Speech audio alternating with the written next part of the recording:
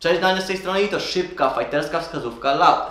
Więc padło pytanie, chcę zacząć trenować sztuki walki, ale od czego zacząć? To jest moja pierwsza przygoda ze sztukami walki, od czego mam zacząć? Mam pewną opinię na ten temat, więc się z Wami tym podzielę.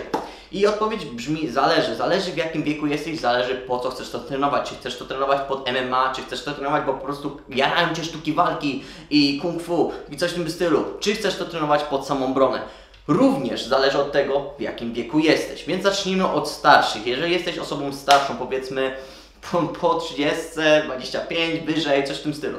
Więc prawdopodobnie chcesz się nauczyć e, walczyć dla samoobrony. Coś mogło się z stać, ktoś Cię napadł lub ktoś napadł e, kogoś w pobliżu i chcesz się nauczyć walczyć, więc nie polecałbym Ci tego samego, co bym polecił na przykład dzieciakowi, który ma lata, żeby się nauczyć walczyć. Ty nie masz tyle, tyle czasu, więc po, polecam Ci bardziej bezpośrednie e, jakby techniki samoobrony.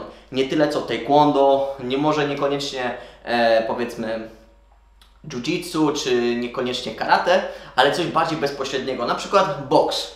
E, W boksie po paru treningach już jesteś w stanie nauczyć się paru fajnych technik, żeby się obronić. Następnie techniki samoobrony. Jest bardzo dużo technik samoobrony, jak e, Krav Maga, jak e, Systema, jak e, Sambo można powiedzieć jeszcze, Kali, e, Wing Chun też jest pełną formą samoobrony. Jest bardzo, bardzo dużo systemów samoobrony, więc też Ci to polecam, bo w bardzo krótkim czasie nauczysz się pewnych technik samoobrony, które Ci się mogą przydać. Ok, teraz przejdźmy na tą młodszą stronę medalu. Może jesteś młodym żaglem w podstawówce, w gimnazjum, albo nawet w liceum.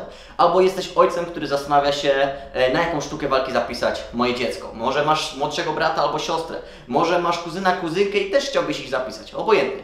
I tak naprawdę masz wiele rodzajów. Masz wiele rodzajów sztuk walk. Masz kickboxing, muay thai, judo, jiu-jitsu, boks, e, karate. Jest naprawdę tego masa.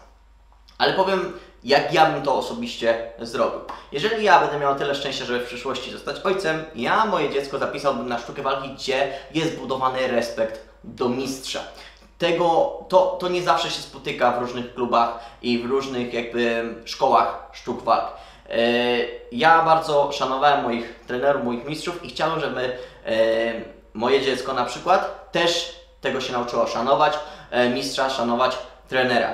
E, Więc zapisałbym pewnie na jakąś sztukę walki, gdzie jest właśnie budowany ten, ten szacunek, ten respekt, ale też dyscyplina, co jest bardzo, bardzo ważne.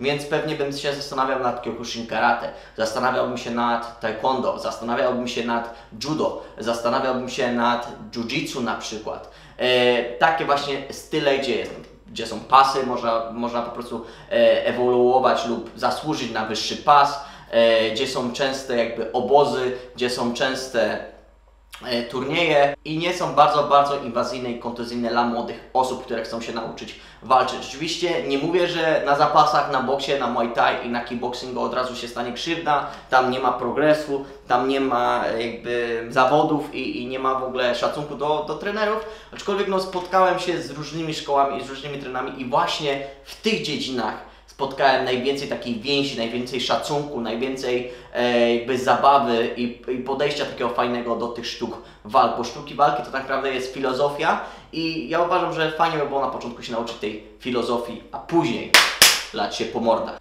Więc taka jest moja opinia, jeżeli chodzi o rozpoczęcie przygody ze sztukami walki. Oczywiście macie wiele, wiele, wiele opcji, wiele sztuk walk tutaj nie wymieniłem, które też pewnie biorę pod uwagę, ale nie wpadło mi do głowy, Yy, ale tak to widzę. Jeżeli Wy to widzicie inaczej, to podzielcie się o tym w komentarzach, chętnie z Wami podyskutuję. Może znacie inne sztuki walki, które też są odpowiednie dla początkujących, dla młodych, może albo dla osób starszych, które chcą się nauczyć e, samoobrony.